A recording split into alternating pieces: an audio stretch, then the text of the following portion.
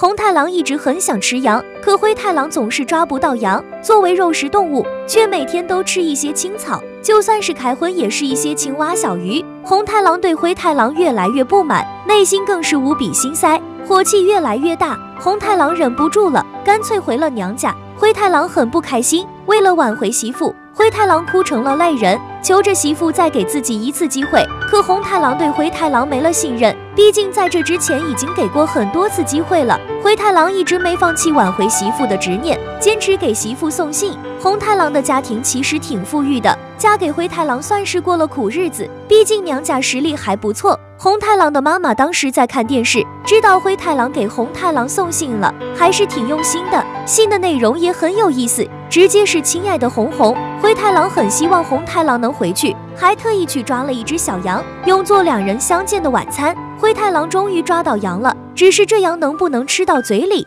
从这里来看，其实灰太狼还是很有诚意，在抓了羊，红太狼就不会生气了。加上他本来就在意灰太狼，气消了就会回去。红太狼的妈妈叫红太狼回去，虽然没有露出整张脸，但依然能看出来他的颜值还是很不错的，还劝红太狼不要再斗气了。他也知道灰太狼对女儿好，才会帮忙劝说。灰太狼很喜欢红太狼，还经常给他一些惊喜，不是送玫瑰花就是送钻石。除了没有羊吃，其实红太狼还是很幸福的。他生病的时候，灰太狼会在身边照顾；在他生气的时候，灰太狼也是任由他打骂。虽然总是吃不到羊，可灰太狼一直没有放弃，坚持不懈的抓羊。好脾气还会哄红太狼开心，真正的绝世好老公。灰太狼甚至送了他一条很美的裙子，香太狼看到很嫉妒，自己一直想穿却舍不得，红太狼居然穿在了身上，这实在让人嫉妒。香太狼故意说他穿不好看，